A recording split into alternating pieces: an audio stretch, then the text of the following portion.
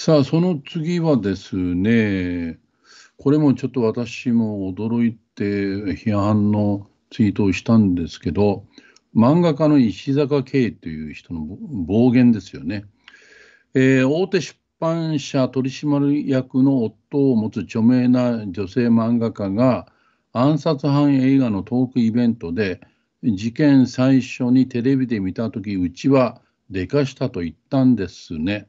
私と夫は山神様と呼んでます。あんまり外で行っちゃいけないと思っていましたが、これだけ仲間がいると思って非常に勇気づけられました。あ然ありえないと、これは門田隆翔さんのツイートなんですが、僕自身はその石坂慶という名前、本当かすかに覚えてる程度で、どんな漫画描いてたかとかいうのはパッとは出てこないんだけど、そうだとしてもですよ、えー、安倍さんが殺された、亡くなった時にでかしたと。で、山上のこと山上様って、もう狂気の沙汰っていう言葉以外に私はもう思いつかないんですよ。でも、こういう手合いがやっぱり多いっていう意味なんですかね。もう本当に驚いたんですけど。これなんかいわゆる問題発言って言ってね、うん、まあちょっと前だったらそのオリンパラのその森会長の女性蔑視発言で森さんクビになりましたよね。そうですよねはい。この人はね殺人とテロをちぎったわけですよ。はい。こういう人をねじゃあこの人が次漫画を描いてそれがその漫画雑誌に出るんですか？あはい。こういう人を発信者として使う媒体、うん、媒体そのものが狂気ですよ。うん、そういうことですよね。それはその連続企業爆破事件のね、大道寺正史を褒めちぎった金平をずっと報道特集のキャスターに使ってた TBS、はい、発言の内容は同じ同梱で、質はもっとひどい。うん、殺人事件安倍さんが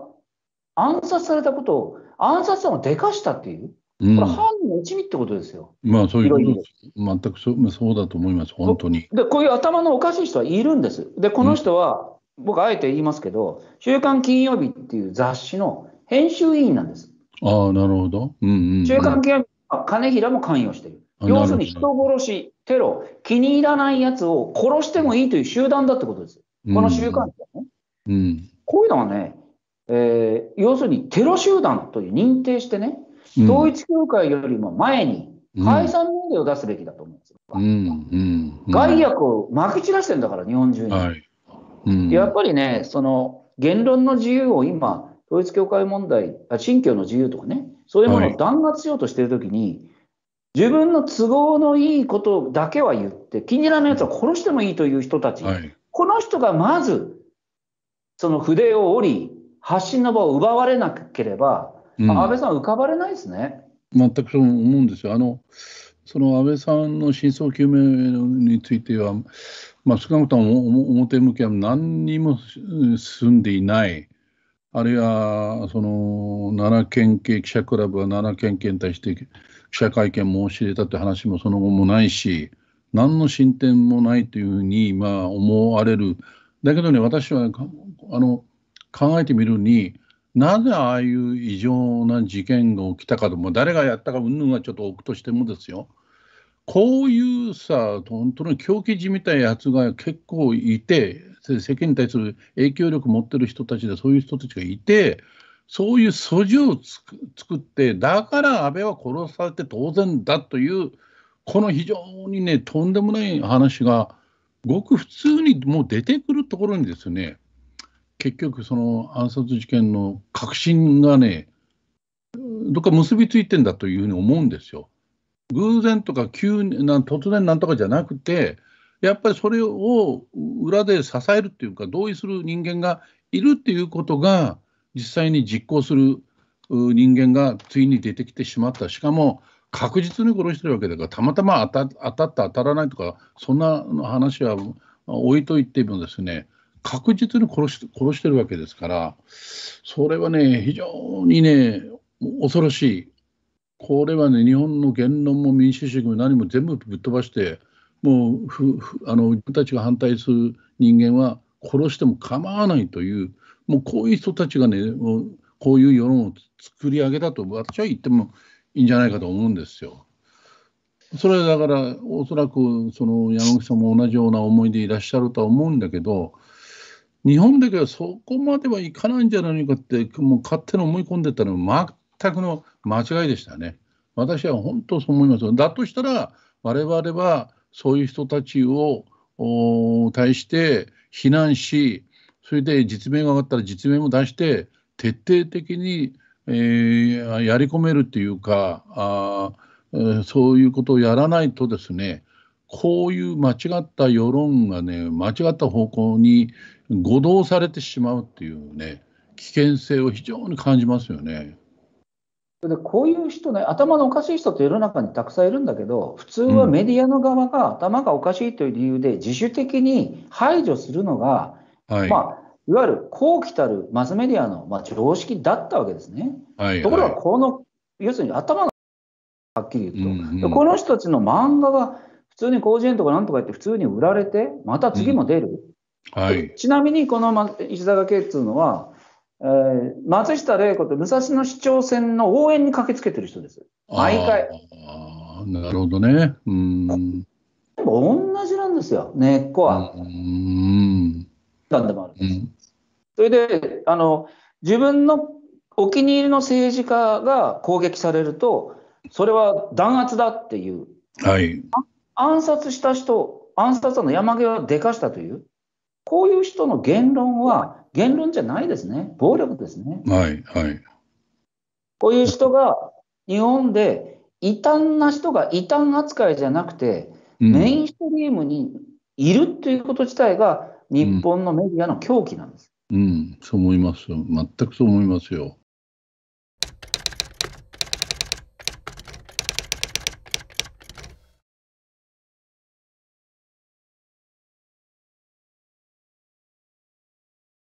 それでちょっと時間の関係もありますが、最後にその、えー、文化人放送局にずっと出ていただいている高田純さんのツイートです。官邸へ意見メールいたしました。警察への激励です。科学レポート、2発は空砲だった。優秀な警察の捜査も同様な結果を得ていると推察しています。真の狙撃手を特定するため、事件現場周辺のビデオ映像を分析されていることと存じます。捜査の進展を国民一同期待しております。高田純というお書きになってますが、これは高田さんが、まあ、いろんな本当に科学的見地からあの音声、映像もですけど、音声データを分析して、山上が撃った2発はもう空砲だったと、音と白い煙が出た。逆に言えばそれそれで、えー、みんなの耳目を集めといて実際にスナイパーが別にいて、えー、そいつが撃った弾が安倍さんの右右筋首筋に当たり心臓を貫いてこれが致命傷になったという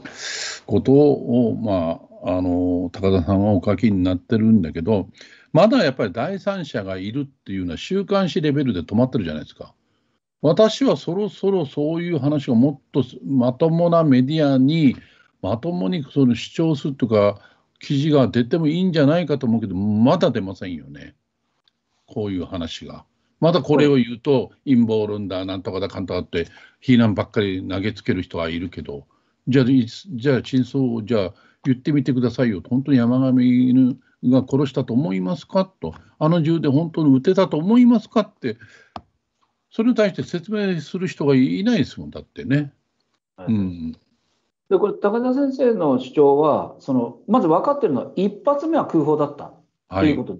はい、2発目は空砲じゃなかったというのは警察の発表。はい、ということは2発目は、まあ、警察は6発の弾が同時に発射されたと主張している。はい、そしたらこれ物理の法則から言って、うん、弾が出なかった1発目と弾が出た2発目は反作用たる反動が全く違うはずなんですね。そうですね。はい。ところが、打った山上の挙動は全く同じなんですよ。そうでした。はい。はい。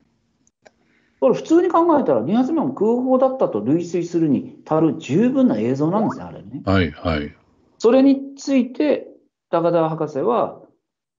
音声解析で2発目も空砲だったということを非常に科学的に詰めて説明されてますから、はい、これはね、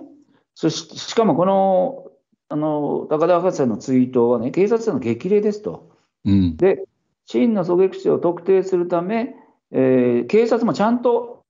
分析されていることと存じますと。これはね、うん、最高の嫌味、皮肉ですよ、まあ、そういうことでしょう。私はその、このことに対してね、官邸と奈良県警を反論すればいいんです、できるなら。うんうん、沈黙してるということは、反論できないということですよ。まあ、そそのぐらいね、極めて冷静な分析ですから、高田先生のは、はい、これを陰謀論だと言って、蓋をしようとしている人、私のところにもさまざまなこと言ってくるけど、うん、これ、このシンプルな科学的な主張に対して違うという反論をしてほしいんですね。うんうんもう、えー、心からそれをお願いしたいですね。あのー1週間前に韓国でね156人もの人が、まあ、圧死、えー、するというような大事件大事故がありましたよね。でそれはもう韓国の警察の不手際というか間違いということはあこれは免れないんだけど僕はね一つだけ感心したのは韓国の警察庁は直ちにですね特別チームを編成して警察を捜査したんですよ。はい、それは現地の警察であったり、警察庁の中でも、そうこれに携わった人たちを相手に捜査をしたっていうんですよ。私はそれを聞いてね、韓国ってとんでもない国なんだけど、このことはものすごく私は評価してて、日本もそういう組織っていうか、そういうことができないもんかで、今の状況、このままではもちろんできないのは分かってますが、ならば、ならば最低じゃあ国会でこういうことを真相究明決議というものをやってどういう形かまあ僕もにわかには分からないけどこう警察そのものを捜査する組織なり組織体なるものを編成するとかですねどうなんでしょうかねできないもんなんでしょうこれじゃないとね奈良県警に任してたらねおそらく闇から闇でね結局結論はね出ないですよ。ごまかすだけだから。だだって自分たちの不手際とかミスを明らかにされることを多分警察はメンツを一番重んじる組織ですからそっちの方向には向かわないですよこれはどうしても。だとしたら闇から闇ね安倍さんは、えー、亡くなり損みたいなことになりかねないじゃないですかどうですか山口さん。その韓国っていう国はね、もう皆さんご存知のように、政権交代は、これは王朝の交代ですから、韓国の場合はね。はい、そうすると、その警察権力、あるいは裁判官、うん、もうありとあらゆる捜査機関、司法機関、行政機関が、